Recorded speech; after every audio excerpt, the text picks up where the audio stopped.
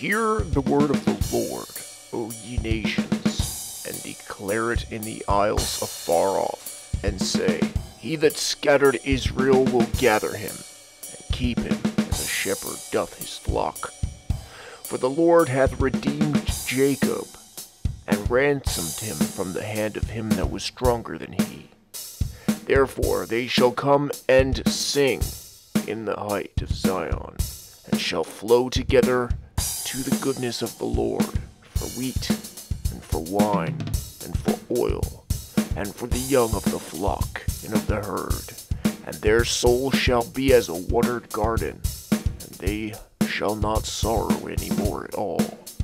Then shall the virgin rejoice in the dance, both young men and old together.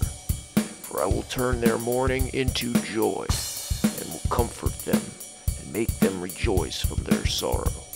And I will satiate the soul of the priests with fatness, and my people shall be satisfied with my goodness, saith.